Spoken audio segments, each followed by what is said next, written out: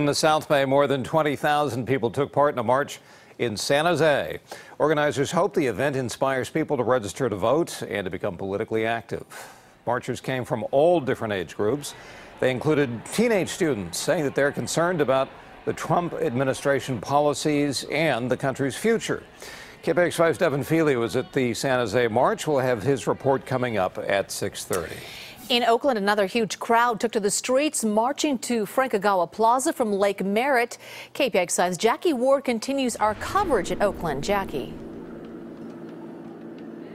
Juliet, so many people came out today for so many reasons. Of course, the big one was to defend women's rights, but other people came in support of Dreamers and DACA. A lot of people told me that it, they think it's terrible that we're in a government shutdown right now, but at the same time, they're proud of the lawmakers who are taking a stand for immigrants. Just hours into the government shutdown, an estimated 40 to 50,000 people showed up to march in Oakland. Washington, D.C. is in such disarray, but it's understandable. Uh, it was always put on the Democrats as being the reason why things aren't working, and uh, now that the Republicans have control over everything, and they still can't get it work. Many were here to stand up for dreamers.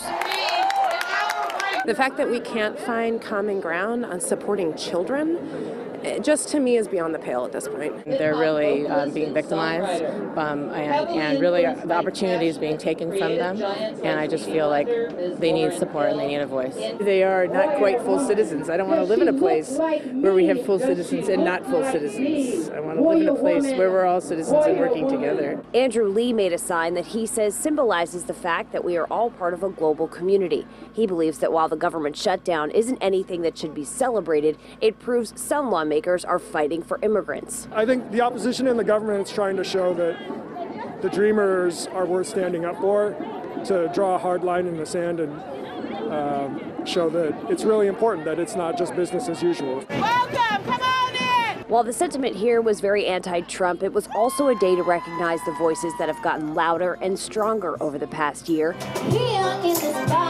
and a reminder that these people will keep marching long after the crowds disperse today. And the support for Dreamers and DACA, those people hope that at next year's Women's March, we're able to talk about a legislative fix that Congress has come up with that saves DACA. In Oakland, Jackie Ward, KPIX 5.